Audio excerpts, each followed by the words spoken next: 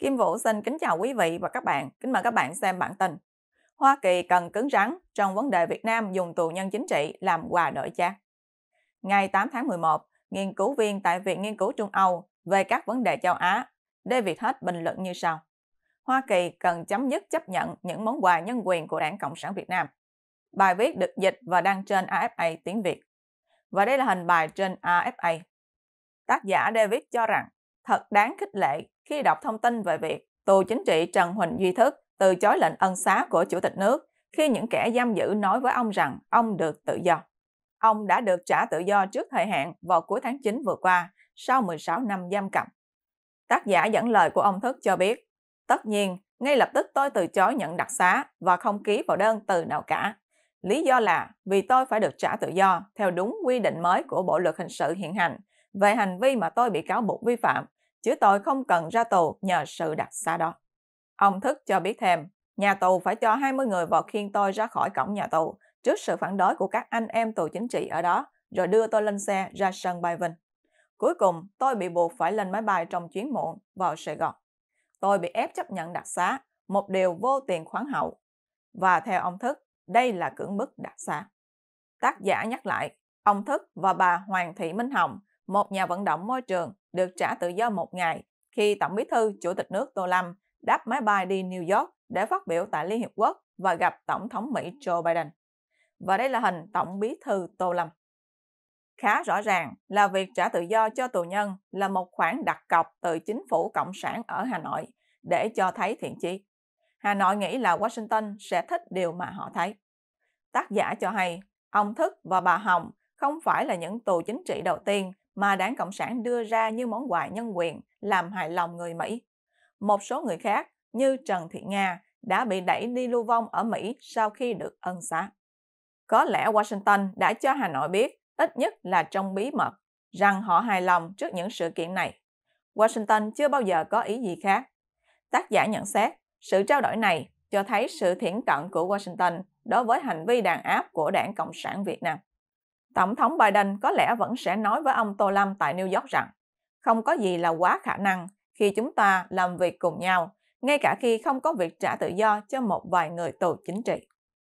Washington không nên chấp nhận những người tù từ phía đảng Cộng sản Việt Nam, một đảng đã kiểm soát tòa án, cho phép việc bỏ tù bất cứ ai dám thách thức quyền lực của đảng. Theo tác giả, một ai đó bị cầm tù vì dám lên tiếng về quyền của họ phải được ít nhất khẳng định sự vô tội của mình trước kẻ đàn áp họ. Và đây là hình cố Tổng Bí thư Nguyễn Phú Trọng. Nhưng một tù nhân chỉ được trả tự do sớm qua ân xá và bị ép phải chấp nhận ân xá, thì người tù đó phải ít nhất đã chấp nhận có tội. Đây không phải là một tuyên bố vô tội, nó là một món quà tự do từ một thế lực đàn áp.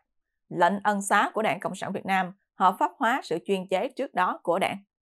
Tác giả nhấn mạnh, sẽ có ít hơn nếu Hoa Kỳ nói rằng Họ chỉ chào đón việc trả tự do cho các tù chính trị nếu Đảng Cộng sản Việt Nam tuyên trắng án cho họ, không phải là ân xá. Đảng Cộng sản Việt Nam có thể ân xá toàn bộ tù chính trị vào ngày mai và thả toàn bộ theo một đề nghị nào đó, nhưng hành động đó chỉ làm cho việc tăng gấp đôi số tù nhân vào ngày tiếp theo trở nên dễ dàng hơn. Cuối cùng, chỉ có pháp quyền thật sự mới giúp ngăn cản điều này. Tác giả lưu ý, Washington không nên cho phép Việt Nam làm giảm giá trị của pháp quyền để thúc đẩy quan hệ song phương. Quý vị và các bạn đang xem chương trình trực tiếp của Kim Vũ với bản tin Hoa Kỳ cần cứng rắn trong vấn đề Việt Nam dùng tù nhân chính trị làm quà đổi chát. Xin mời quý vị và các bạn chia sẻ video này cho nhiều người biết và bấm nút theo dõi trên YouTube và Facebook của Thời báo chấm đề để luôn được cập nhật bản tin mới nhất, nhanh nhất và trung thực nhất. Kim Vũ xin kính chào các bạn và hẹn gặp lại các bạn trong chương trình lần tới. Kim Vũ xin kính chào quý vị và các bạn. Kính mời các bạn xem bản tin. Trung Quốc vẫn không ngừng tấn công, bắt giữ ngư dân Việt Nam trên Biển Đông. Ngày 4 tháng 11, AFA tiếng Việt cho hay, ngư dân Việt Nam bị Trung Quốc giam giữ 6 tháng. AFA trích một báo cáo của một viện nghiên cứu ở Trung Quốc tiết lộ, một số ngư dân Việt Nam đã bị phía Trung Quốc giam giữ tại quần đảo Hoàng Sa hơn 6 tháng vì đánh cá trái phép. Thông tin này được đưa ra vài ngày sau khi phía Việt Nam ra yêu sách đòi Trung Quốc thả toàn bộ ngư dân và thuyền cá cũng như ngưng sách nhiễu hoạt động đánh cá của Việt Nam. Và đây là hình bài trên AFA. AFA cho hay sáng kiến thăm dò Biển Đông là một viện nghiên cứu được chính quyền hậu thuẫn có trụ sở ở Bắc Kinh, viết trên tài khoản mạng xã hội X của họ rằng những ngư dân này bị bắt giữ vào tháng 4 và tháng 5 vì đánh cá trái phép trên khu vực biển xung quanh quần đảo Hoàng Sa. Tuy nhiên, họ không cho biết thông tin chi tiết về số lượng người bị bắt giữ.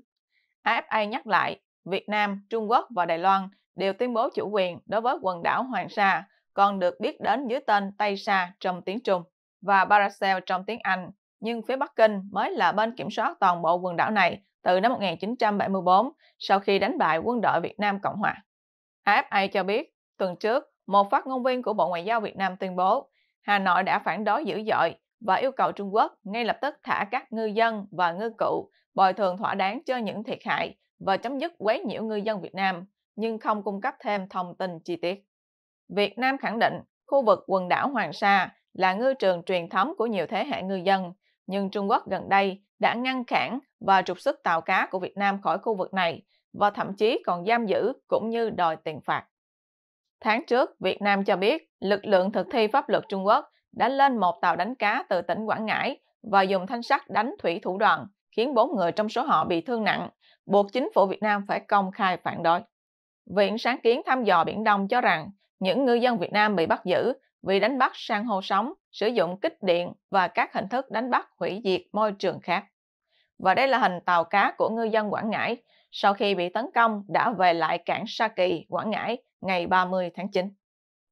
Tổ chức này còn công bố hình ảnh mà họ cho là thuốc nổ và kiếp nổ được sử dụng bởi ngư dân người Việt tại Hoàng Sa. Theo AFA, trong cuộc họp báo tại Bắc Kinh vào ngày 1 tháng 11, phát ngôn viên của Bộ Ngoại giao Trung Quốc Lâm Kiếm cho biết, phía Trung Quốc hy vọng Việt Nam sẽ thực tâm giáo dục ngư dân và đảm bảo họ sẽ không vi phạm pháp luật trên vùng biển mà Trung Quốc quản lý.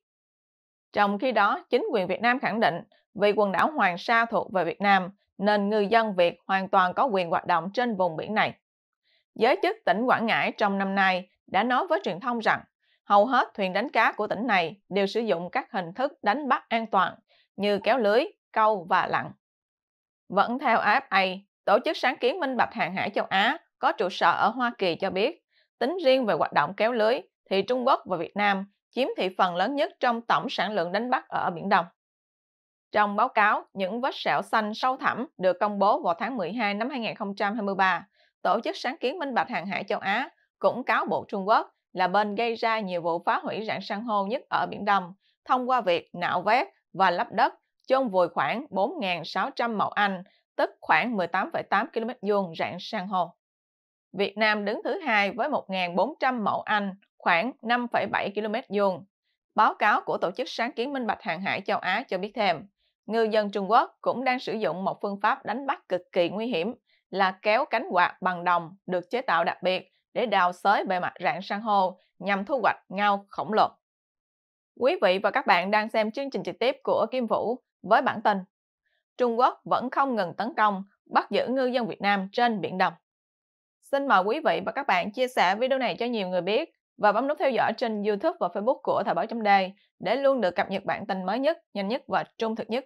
Kim Vũ xin kính chào các bạn và hẹn gặp lại các bạn trong chương trình lần tới.